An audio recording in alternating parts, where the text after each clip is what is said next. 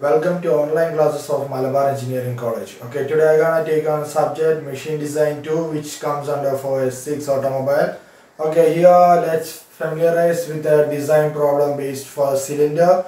Okay, what is meant by cylinder? While we take an engine block, the one of the important components is a cylinder. Is through the cylinder the piston moves inside an engine and there is an important part known as cylinder lining. The space that provides between the cylinder and the piston is the cylinder lining. It's through the cylinder lining the piston moves each times to and fro.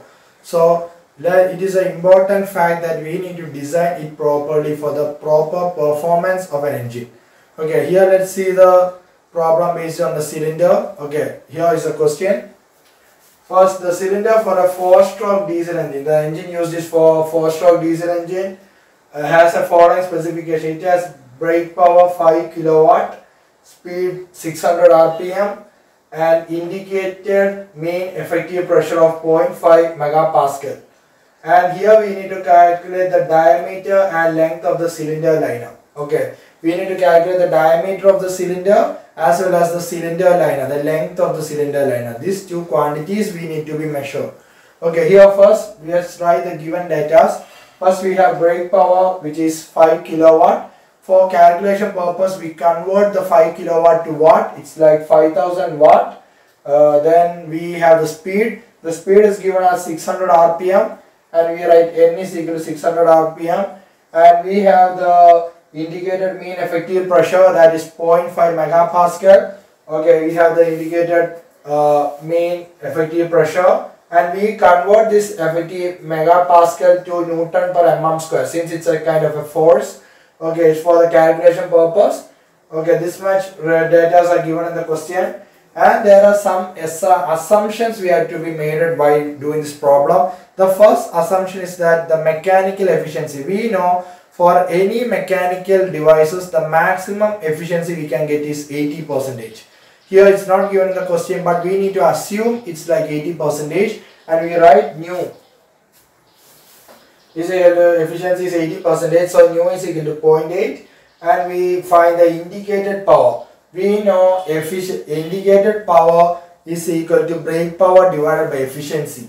And we have the brake power as 5000 watt divided by 0.5 0.8 and we have the indicated power as 6250 watts. That's the indicated power we calculate. Then we assume the stroke length by cylinder diameter is 1 by 5 ratio. It's always like that. The ratio is always 1 by 5 and we have that 1 by 5 that is we can return an equation like 1 is to 5 and we have the area. Area is uh, calculated by the area of cross section. It's calculated by the equation pi d raised b d square by 4 and we have length. Uh, like stroke length is equal to 1.5 d by 1000 we need to convert this whole equation to in the terms of d diameter so that it will be easier for you to calculate the diameter of the cylinder. For that we need to convert each and every equation to terms of diameter.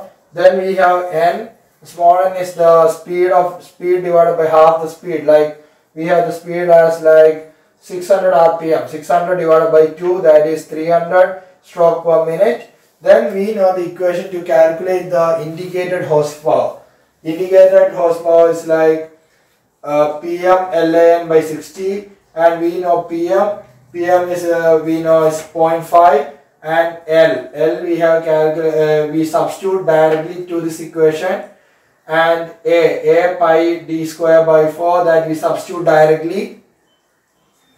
Then N, N we have 300 and by substituting this we get the value of diameter of the cylinder. The diameter of the cylinder is about 128.5 and we need to round the figure and we get around 130 mm. That's the diameter of the cylinder and we need to find the the cylinder lining okay the length of the cylinder lining is given by lc is equal to 1.5 d that we get from here so lc equal to 1.5 d and by substituting the value that like 130 into 1.5 and it's 195 mm so the value we get is like for the cylinder the diameter is like uh, 130 mm and the length of the cylinder lining is 195 mm.